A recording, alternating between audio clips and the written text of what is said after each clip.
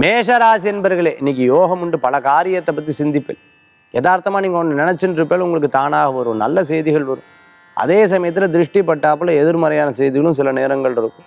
நம்ம நல்ல செய்தியை மட்டுமே நிறையா எடுத்துகிட்டு இருக்கிறது நல்லதாக இருந்துட்டு இருக்கும். குழந்தைகள் படிப்பு பேர் அவள் ஸ்கூலில் அதாவது அவள் வந்து ஆன்லைனில் ஒரு விஷயத்தில் பார்ட்டிசிபேட் பண்ணி அதில் வந்து சக்ஸஸ் ஆகிட்டா ஜெயிச்சுட்டா ஆஹா சந்தோஷம். நல்ல பேர் எடுத்துட்டேன் அம்மா அப்பாவுக்கு நல்ல பேர் வாங்கி கொடுத்துட்டேன் அப்படிங்கிறத பெருமையாக பெற்றவர்கள் நினைக்கக்கூடிய அற்புதமான நாள் இன்றைய தினம்.